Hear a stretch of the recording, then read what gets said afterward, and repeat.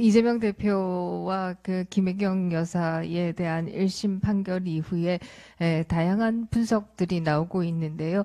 그 분석 가운데에서 가장 공감할 만한 것은 조선일보의 박정훈 칼럼이었습니다.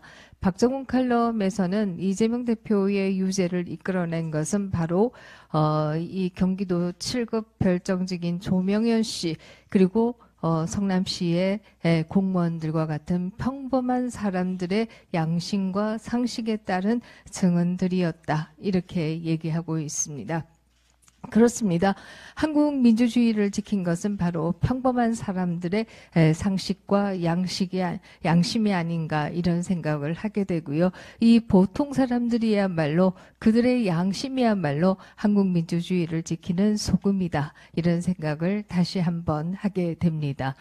어, 이재명 대표에 대한 1심 판결 이후에 에, 민주당에서는 벌써 어, 삼총 상김과 같은 포스트 이재명에 대한 논의들이 나오고 있는 것으로 알고 있습니다.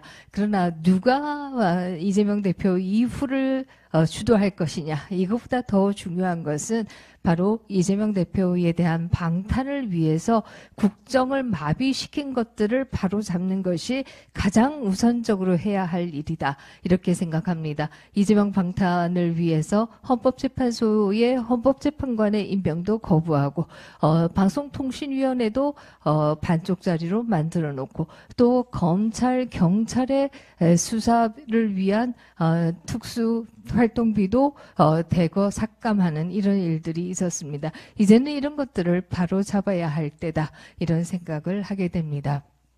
또 다른 한편에 있어서 어, 한동훈 대표가 말씀하신 너희는 더 나으냐라고 하는 이 잣대로 우리는 우리 국내힘 스스로를 돌아봐야 한다 이런 생각을 하게 되고요. 이 당원 게시판에 대해서 문제 제기도 바로 보통 사람들의 상식과 양심에서 나온 문제 제기다 이렇게 얘기 드릴 수 있을 겁니다.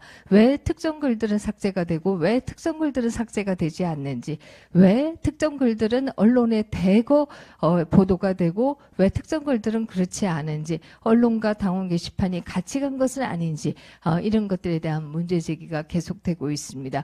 우리는 이것이 수사기관에 의해서 밝혀지기 이전에 우리 스스로 당무 감사를 통해서 무엇이 잘못된 것인지 게시판 관리가 왜 잘못되었던 것이 이런 것들을 우리가 먼저 바로 잡아야 한다 이런 생각을 다시 한번 하게 됩니다.